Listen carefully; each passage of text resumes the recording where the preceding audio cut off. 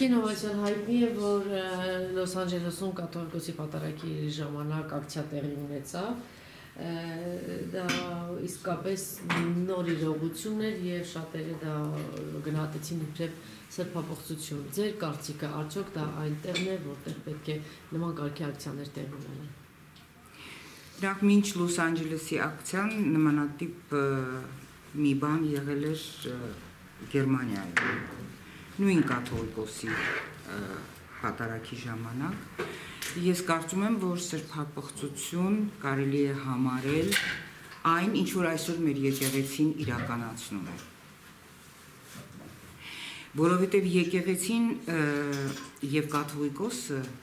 քրիստոնեությունից այնքան է հեռացել, կաթողիկոսն էլ Քրիստոսից այնքան է հեռացել, որ նախ եւ առաջ պիտի կանխվի այդ սրբապղծությունը։ Այն առևտուրը, այն կոռուպցիան,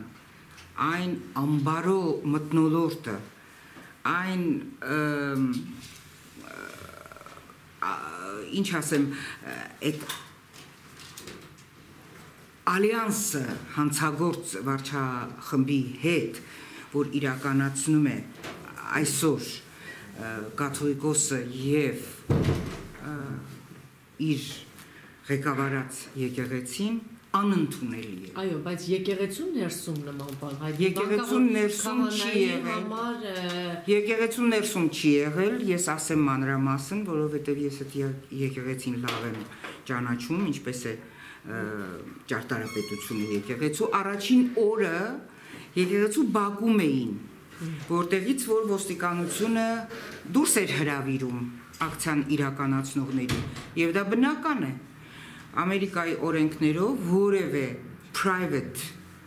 տարածք, այսինքն անձնական տարածք, իսկ դա եկեղեցու տարածքն է։ Չես կարող մուտք գործել որևէ բան անել։ Դա նույնն է թե ինչ որ մեկի տունը մտնես, դա եկեղեցու անձնական տարածքն է։ Դարպասից ներս։ Եվ ոստիկանները խնդրեցին, որ հաջորդ օրը պատարակի ժամանակ նրանք իրականացնեն ակցիան դարպասից դուրս ինչը որ իրենք արեցին եւ արեցին ուրեմն բավականին այսպես ակտիվ ձևով ի վերջո հravirեց ներս մարդը սրբազանը որ เป զի կարողանան իրար հասկանալ բայց դա հավասար խոսակցություն չէր իմ կորն է եւ շատ ակտիվ գործունեություն է վարում այնտեղ նրան շատ կոպիտ ձևով ասեց դու ով ես որ ասենք քննություն, քննություն իրականացնել համարում, ասենք Սրբազանին ասում է Աստվածաշնչի այսինչ բանն ասեք, այնինչ այսինքն Այո, կոռեկտ եմ համարում, որտեղ շատ սրբազաններ չգիտեն չգիտեն Աստվածաշունչ կամ իմանալուց հետո մոռանում են, որովհետև այն ամենը ինչ որ ասում է պատվիրանը, ինչ որ ասում է նոր կտակարանը, դրանից շատ հեռացած են։ Նա խնդրում էր, որ ասի այն հատվածը, բայց դերասանու եք, ինչ որ մեկը գա եւ ձեր ինչ որ բանից ասել, դե ասեք, դուք ինչ ասին, ինչ որ մեկ եկեք, ասում եք դե ասեք։ Դուք չեք ասի, դուք իմ ուսուցիչն եք, դուք ով եք, որ եկել եք ինձ ասում եք այսպես ասեք կոչումով դերասանուհի մարդ եւ գալիս է մեկը ասում է այսպես եթե ես որպես դերասանուհի այնքան ամբարո լինեմ եւ այնքան թերանամ իմ մասնագիտության մեջ, որքան թերանում են այսօր կղերականները, հոգեվորականները, ես շատ շնորհակալ կլինեմ, որ ինձ ինչ որ մեկը ասի դու ով ես։ Այսպես համահարթեցման բան չկա բոլորին միացնելով ասել, չէ, Չէ, եկեղեցին սոսկալի է դրսևորում իրեն։ Եկեղեցին երբեք չպիտի լինի ալյանսի մեջ պետության հետ մանավանդ հանցագործ պետության հետ։ Եկեղեցին միշտ պիտի իր հոտին պաշտպան կանգնի։ Մենք մի տարի առաջ տեսանք, թե ինչպես էին կոտորում այդ եկեղեցու հոտին մեզ մարդկանց չզինված, խաղաղ, շատ խաղաղ նպատակներ հետապնդող մարդկանց։ Մարտի 1-ին եկեղեցիականը կանգնած մարդկանց մեջ, սասնածղերի օրը հոգեվորականը կանգնած, այսինքն դուք դա եք, չէ՞ տեսի, այսինքն այսպեսի հոգեվորականներ չէ ունենք։ Ես չեմ ասում բոլոր հոգևորականներն են այդ վիճակում։ Չէ, ես չեմ ասում բոլորն են, կան լավ հոգևորականներ, որոնք իդեպ նույնպես տարապում են այդ եկեղեցական ռեժիմի ձեռքին։ Եվ շատ հաճախ ես հանդիպում եմ հոգևորականների գրառումներ, որոնք խոսում են այն մասին,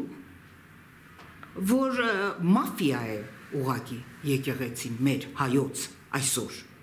Այո, բայց կա Մեր հոգևորականներն են խոսում։ Այն հոգևորականներին եւս։ Եվ եւ եւ տեսնում ենք եւ կարեկցում ենք եւ տեսնում ենք որ նրանք նույնպես զոհի վիճակում են։ Իհարկե կան լավ հոգևորականներ։ Եթե այդ ամենը տեղ ունենար եկեղեցու ներսում, դուք էլ կդատապարտեիք, որ չի կարելի դա։ Չէ, ես ամեն բան կա, որ քահանայի համար չեն քարկոծում, չէ, եկեղեցին եւ հավատը։ Չէ, ես նախ նրանք եկեղեցու ներսում չէին կարող իրականացնել, դա օրենքով է արգելվում եւ չեն իրականացրել։ Եկեք եթե հարցերի ես չպատասխանեմ, որովհետեւ եթե անպտուղ անպտուղ, այսպես ասած, հարցադրում է։ Էսա հիմնականում